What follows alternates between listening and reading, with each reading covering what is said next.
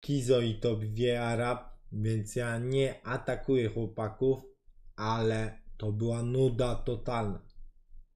Ale tutaj był kurwa prawdziwy boks. Prawdziwa szermierka na pięści.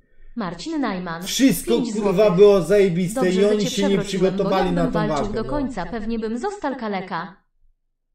Więc federacja, mam nadzieję, że pójdzie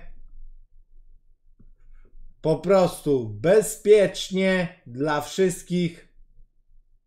Ja wiem, że federacja tam jakby nie chce urażać nikogo, ale to nie jest tak. To nie może być tak, że moja osoba będzie urażona, tym bardziej, że wygrałem.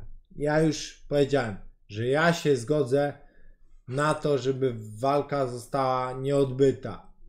Ale na pewno nie zgodzę się na to, że zostałem oszukany.